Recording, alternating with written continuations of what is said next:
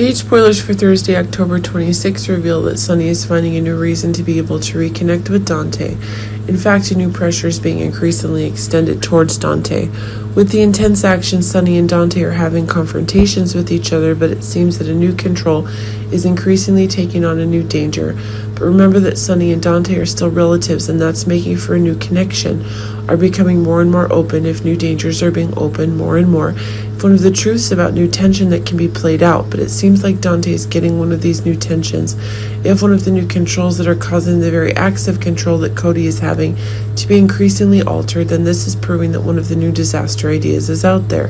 But it seems that one of the new truths is increasingly expanding. If Cody is looking for a new partner, if Sasha is preparing to leave, then the future that Cody has is a hot topic that which is proving that exactly one of the new crises is getting there. Next, we're seeing that one of the new tensions that Curtis herself is getting, it seems like the new pressures that Cyrus is bringing are getting more and more intense, and it's actually Trina who's making the brunt of it, contain those explosions. But it seems that today a new shock is being confirmed, and that's frying the controls Curtis has, and it seems that one of the outbreaks is being given more and more quickly. Faster, Trina herself no longer has the advantage. But remember that Josslyn herself is getting the same amount of stress that Trina herself is probably getting, and that's proving to be one of the crazy events a new war is getting.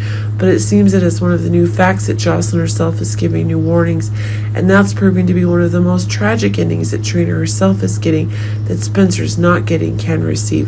Ultimately, we're seeing how wrong Felicia is getting. Seems that the wrong assumptions about the future that Maxie herself is receiving are influencing future love stories that are not being approved by Felicia herself. But remember that things are getting different calculations, and that's causing one of the explosions in these mother child tensions. But remember that if one of the decisions is increasingly being changed, then it's proving that one of the new disasters is coming.